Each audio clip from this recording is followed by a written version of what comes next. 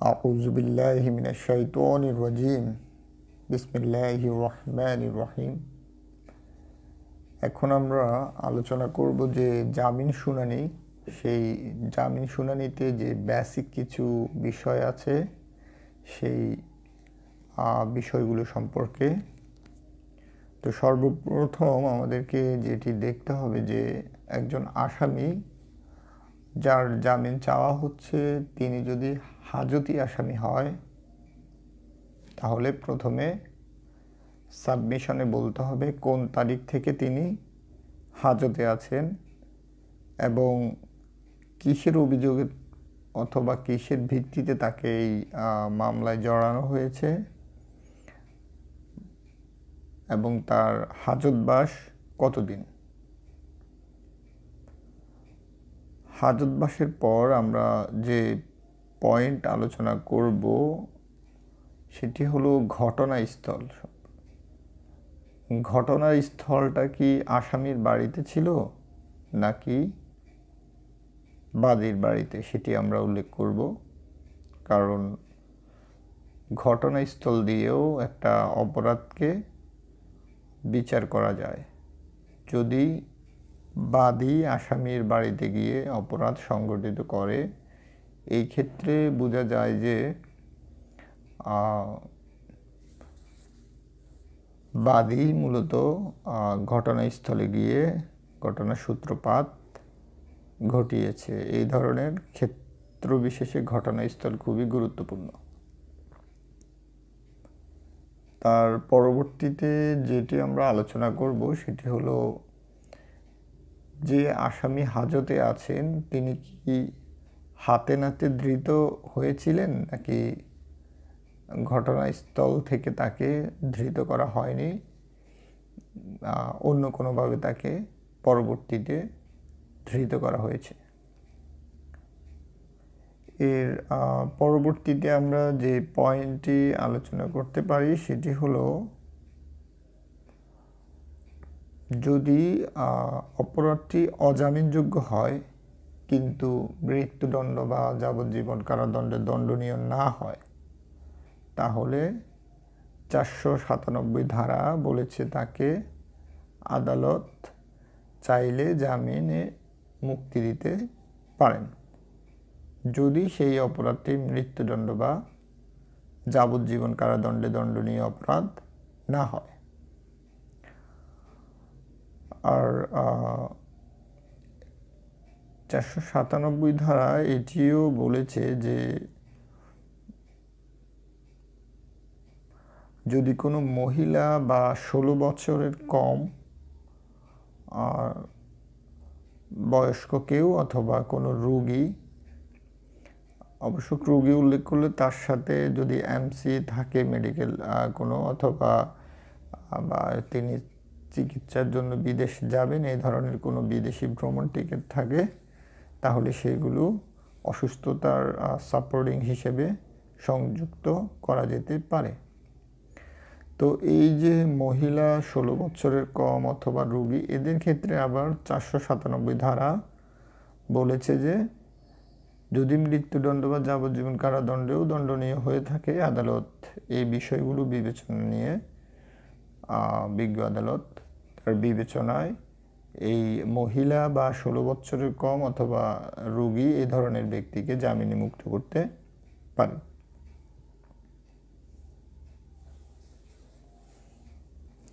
সর্বোপরি যে গ্রাউন্ডটি খুবই গুরুত্বপূর্ণ, এই গ্রাউন্ডটি হলো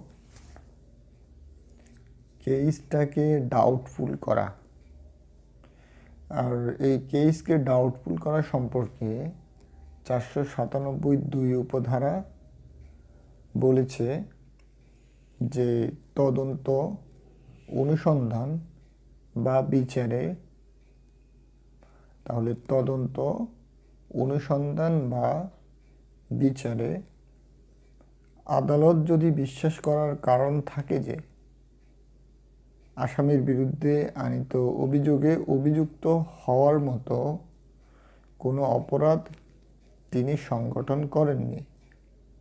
তাহলে আদালত আসামির নিকট থেকে জামিন নিয়ে আসামিকে জামিনে মুক্তি দিতে পারেন। তাহলে এই ক্ষেত্রে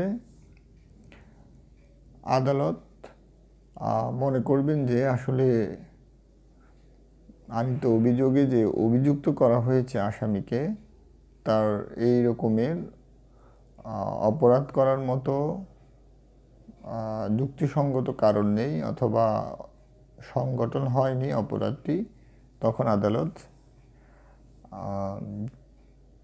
অজামিনযোগ্য অভিযোগের ক্ষেত্রেও জামিন নিয়ে আসামিকে মুক্তি দিতে পারেন।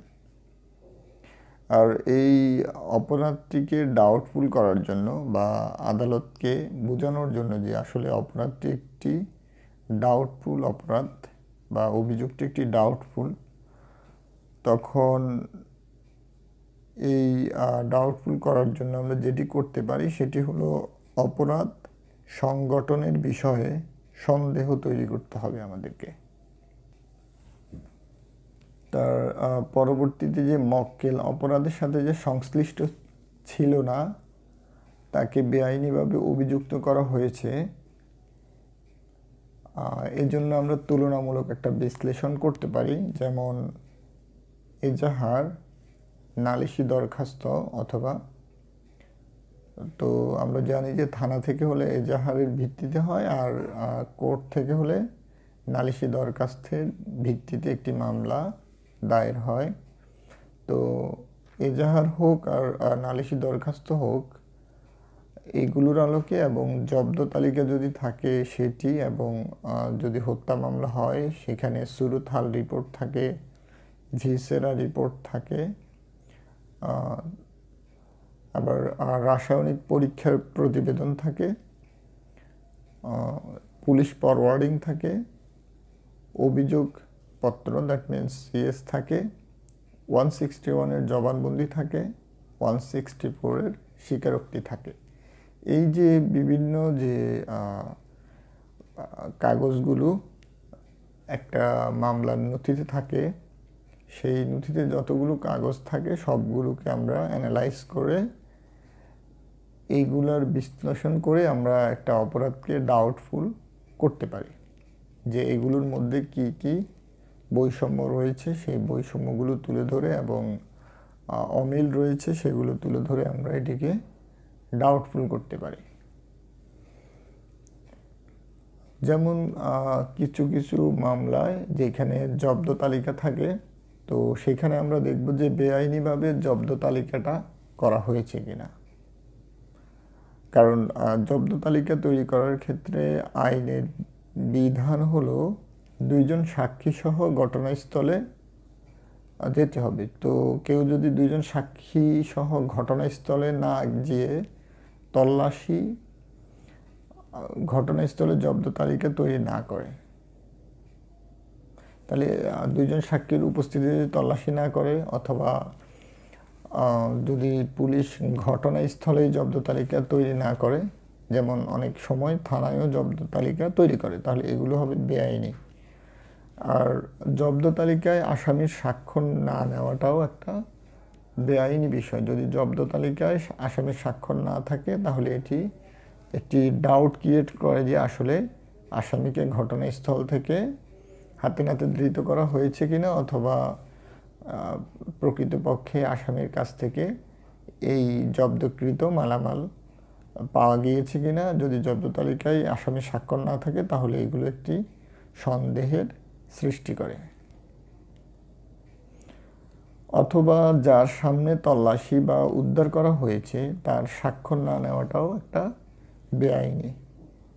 বা তাকে অনেক সময় জব্দ করা হলে এই কোনো বাড়িঘরে, তখন বাড়িঘরে যারা থাকেন তাদেরকেও এই জব্দের একটি কপি দেওয়া হয় যে কোন কোন মালগুলো জব্দ করা হয়েছে তার একটি তালিকা। যাতে করে পরবর্তীতে তিনি ওই তালিকা ধরে ধরে তার মালামালগুলো বুঝে নিতে পারেন। যদি জব্দের মালগুলো আবার ফেরত নেওয়ার দরকার হয়। যাতে করে পুলিশ এইখানে কারও মালামাল কম বেশি না করতে পারে এই জন্য এই বিধানটি দেওয়া হয়েছে।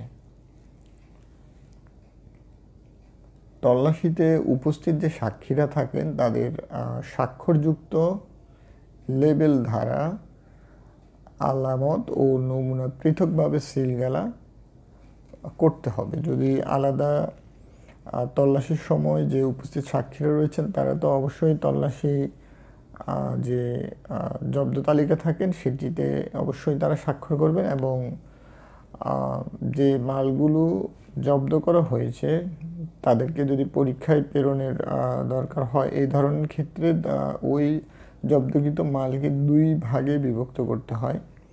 করে এক ভাগ হলো আলামতের জন্য আলামত সংগ্রহের জন্য করা আলাদা করা হয়। আরেকটি হলো নমুনা পরীক্ষা করার জন্য আলাদা করা হয়। তো উভয় ক্ষেত্রেই দুই ভাগেই পৃথক পৃথকভাবে এই সাক্ষীদের স্বাক্ষর দ্বারা এই জব্দকৃত মালগুলো সিলগালা করতে হবে। আর এখানে যদি সাক্ষীদের স্বাক্ষর দ্বারা সিলগালা না করা হয় লেবেলের উপর, তাহলে এটি হবে একটি বেআইনি তল্লাশি অথবা বেআইনিভাবে তৈরিকৃত একটি তল্লাশি এবং জব্দ তালিকাটি হবে একটি বেআইনি জব্দ তালিকা। আর কোনো অপরাধের তদন্ত যদি অপরাধটি সংগঠন হওয়ার পরের একশো বিশ দিনের মধ্যে সমাপ্ত না হয়, তাহলে ম্যাজিস্ট্রেট কোর্ট তিনি সিআরপিসির একশো সাতষট্টি এর পাঁচ উপধারা অনুসারে পাঁচের এ যে পাঁচ উপধারার যে এ রয়েছে, সেই এ ক্লজ অনুসারে আদালতে সাবমিশন রাখতে পারে যে, এই ধারা বলেছে একশো বিশ দিনে তদন্ত শেষ না হওয়ার পরও জামিনে মুক্তি না দিলে তার কারণ আদেশে লিখতে হবে। অর্থাৎ এই ধারা জামিন মঞ্জুর করার বিষয়ে বেশি সহানুভূতিশীল। অন আ মেয়ার এলিগেশনের ভিত্তিতে আসামিকে জেল হাজতে আটকে রাখা হয়েছে। অভিযোগের ভিত্তি নেই, তাই এতদিনেও বিশ্বাসযোগ্য সাক্ষ্য সংগ্রহ করতে তদন্তকারী কর্মকর্তা সমর্থ হয়নি। আপন অ্যান আনফাউন্ডেড এলিগেশন আসামিকে জেল হাজতে আবদ্ধ রেখে তার ব্যক্তি স্বাধীনতা খর্ব করা আইনের দাবি নয়। এই বিষয়গুলো সাবমিশনে বলা যেতে পারে যদি তদন্ত একশো বিশ দিনের মধ্যে সমাপ্ত না হয়। আর জামিনের ক্ষেত্রে পরিষ্কারভাবে জামিন ও বন্ড সম্পর্কে বলতে হবে।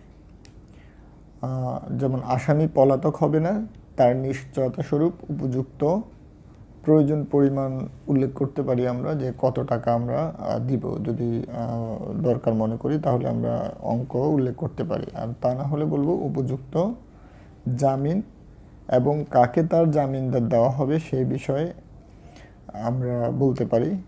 তো যদি কোনো এলাকার গণ্যমান্য ব্যক্তি থাকে অথবা সরকারি চাকরিজীবী যিনি পলাতক হওয়ার সুযোগ নেই, এই ধরনের ব্যক্তি, বন্ড দিবে বলে আমরা প্রস্তাব করতে পারি আদালতের নিকট। অর্থাৎ যে জামিন ও বন্ডের বিষয়টি আমরা পরিষ্কারভাবে জোর গলায় আমরা বলতে পারি যে এই আসামি পলাতক হবে না, এটি নিশ্চয়তা স্বরূপ আমরা উপযুক্ত জামিন এবং জামিনদার আমরা দিব। অথবা আমরা আসামির পেশা উল্লেখ করতে পারি যে আসামি এই ডায়াটাস কাজটি করেন। তিনি পলাতক হবেন না। বিচারের মুখোমুখি হতে প্রস্তুত, কারণ তাকে আইনানুগ পন্থায় অভিযুক্ত করা হয়নি, যা দ্বারা অপরাধ প্রমাণের আদৌ কোনো সম্ভাবনা নেই। এই বিষয়গুলো আমরা উল্লেখ করতে পারি। তারপর আমরা দেখব যে আসলে আসামিকে যে অভিযোগে জড়িত করা হয়েছে, সেই অভিযোগে জড়িতকরণের ভিত্তিটা কি? তো আসামিকে কি ঘটনাস্থল থেকে গ্রেপ্তার করা হয়েছে? নাকি এজাহারে আসামি হিসেবে উল্লেখ করা হয়েছে? নাকি ওয়ান সিক্সটি ফোরের সূত্রে জড়িত করা হয়েছে নাকি ওয়ান সিক্সটি ওয়ানের সূত্রে? তো যদি ওয়ান সিক্সটি ফোরের সূত্রে অথবা ওয়ান সিক্সটি ওয়ানের সূত্রে যদি আসামিকে মামলায় জড়িত করা হয়, তাহলে আমরা দেখব যে এই জড়িতকরণের সমর্থনে অন্য কোনো সাক্ষ্য পুলিশ সংগ্রহ করতে পেরেছে কিনা। আর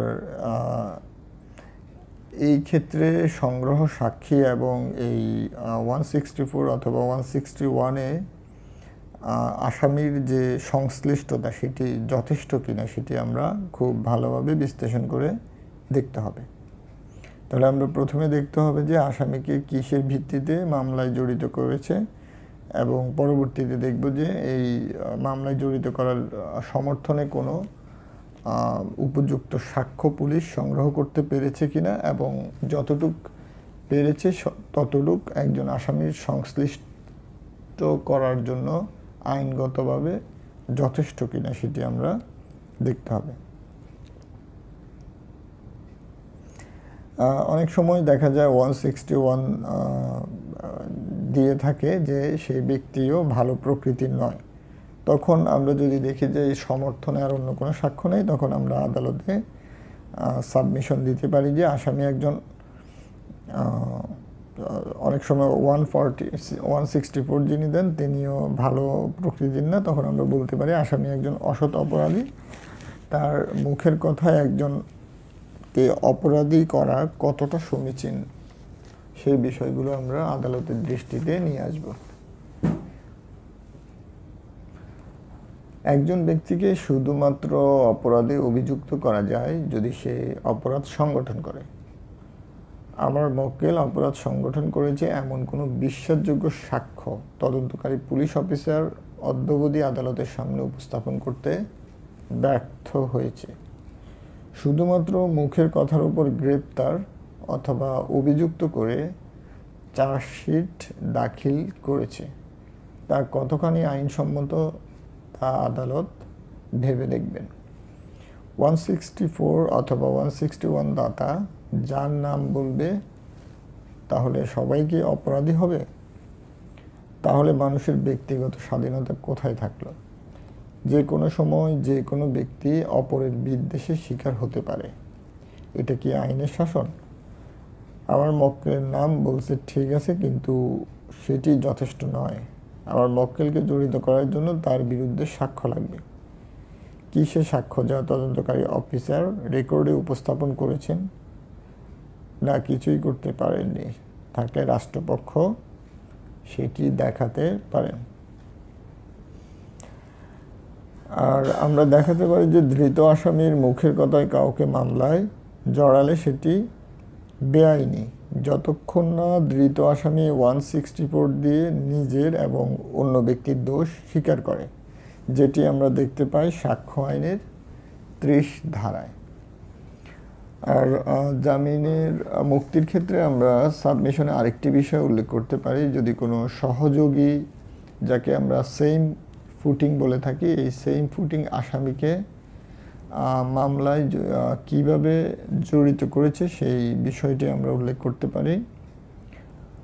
যেমন সহযোগী, যেমন অ্যাবেটর আসামি কীভাবে অপরাধ সংগঠন করেছে বা সহযোগিতা করেছে বা প্ররোচনা করেছে, অথবা ষড়যন্ত্রে লিপ্ত হয়েছে এই সম্পর্কে এজাহারে বা নালিশি দরখাস্তে কি বর্ণনা আছে তা দেখতে হবে। শুধু প্ররোচনা করেছে বললে তা যথেষ্ট নয়। কি কথা বলে প্ররোচনা দিয়েছে অথবা কি কাজ করে অথবা কোন ধরনের তথ্য দিয়ে বা কোন ধরনের তথ্য দেওয়া থেকে বিরত থেকে বা কাজ করা থেকে বিরত থেকে আসামি এই প্ররোচনা অথবা ষড়যন্ত্র অথবা সহযোগিতা করেছে সেই বিষয়গুলো এজাহারে সুনির্দিষ্টভাবে উল্লেখ থাকতে হবে। আর এগুলো যদি উল্লেখ না থাকে আর মামলায় জড়িতকরণটা তাহলে হবে বেআইনি। তাই এই বেআইনিভাবে জড়িত করে আসামিকে কারাগারে আবদ্ধ রাখাও অমানবিকতার পর্যায়ে পড়ে। তবু আসামি বিচারের মুখোমুখি হতে প্রস্তুত, তাই জামিনের প্রার্থনা করতে হবে। আর আমরা জানি যে সংবিধানের পঁয়ত্রিশের তিন অনুচ্ছেদে বলা হয়েছে স্প্রিডি ট্রায়ালের কথা। যেখানে দীর্ঘদিন আসামি হাজতবাস থাকে এখনও চার্জশিট নাই, তাহলে এটি সাংবিধানিক অধিকারের পরিপন্থী। আসামের অন্যতম মৌলিক অধিকার হলো দ্রুত বিচার পাওয়া। শুধুমাত্র একটি অপ্রমাণিত অভিযোগের ভিত্তিতে দীর্ঘদিন হাজতবাস থাকাটা হলো বেআইনি যা সংবিধানের স্পিডি ট্রায়াল মৌলিক অধিকারের পরিপন্থী। রাষ্ট্রপক্ষ অভিযোগ প্রমাণে ব্যর্থ হলে এই হাজতবাসের ক্ষতিপূরণ কীভাবে মেটানো যাবে? এক্ষেত্রে কে দায়িত্ব নেবেন, আদালত না রাষ্ট্রপক্ষ? তাই আদালতের উচিত হবে জামিনে মুক্তি দেওয়া। আর সেম ফুটিং যে আসামি রয়েছেন, তাদের জামিনের মুক্তির ক্ষেত্রে যদি একই অপরাধে অভিযুক্ত হয়ে একজন স্বাধীনভাবে চলাফেরা করে, যেমন একই অপরাধের অপরাধী যারা, কেউ যদি আগে জামিন নিয়ে মুক্ত হয়ে থাকেন, তাহলে জামিন দিয়ে যদি মুক্ত হয়ে থাকেন, তাহলে তখন এই গ্রাউন্ডটি আমরা উল্লেখ করব যে সেম ফুটিং আসামি তিনি ইতিপূর্বেই আদালতে জামিন দিয়ে মুক্ত হয়েছেন। তাই আমরা বেইল এবং বন্ড দিতে প্রস্তুত। এই মর্মে আমরা জামিনের প্রার্থনা করতে পারি।